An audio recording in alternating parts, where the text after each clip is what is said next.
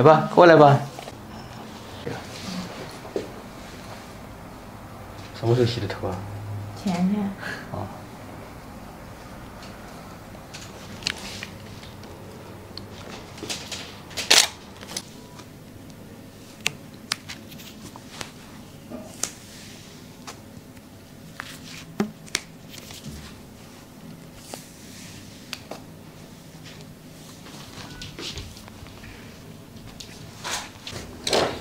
那扎起来看他的发量一点都不少，是吧？那发量其实挺多的。他就是头顶，对头发太重了之后。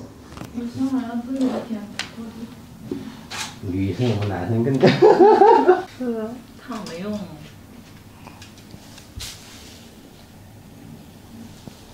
漂还稍微有点用，但是漂完之后头发就回来。头皮有一点点出油，很很容易出油的。是。容易出油的头皮。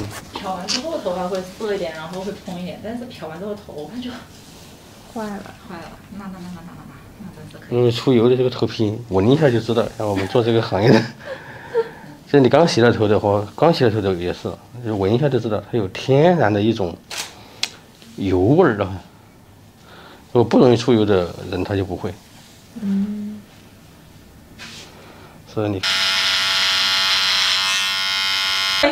有的人去看医生之前，医生就说你把头发，他们就觉得好烦啊，然后就把全部剃了，然后。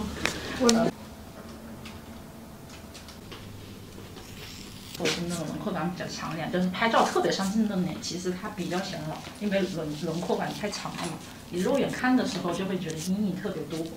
嗯。那为什么化妆的时候要把那些阴影填平了，还得把它给打高光呢？就是这样，上镜好看不一定现实。地方就要破啊。哦，这边用的是新的。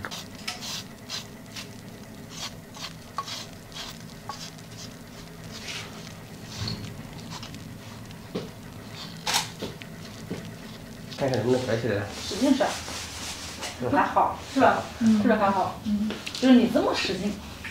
光头很亮，是不 是都是磨的？是，是是的，就是那种人就会皮皮黑黑的，就像我们的脸。还是要擦一点东西的。我就说那个新棉花的就很有光嘛。